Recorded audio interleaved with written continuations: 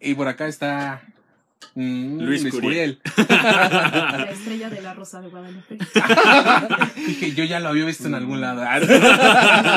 Sí, sí, soy famoso, soy famoso. gracias, a, gracias a la Virgen. Gracias a la O Virgen. no, a la Rosa. No, gracias a la Virgen literal, porque yo nací el 12 de diciembre, Ajá. entonces es el día de la Virgen de Guadalupe, entonces gracias a la Virgen.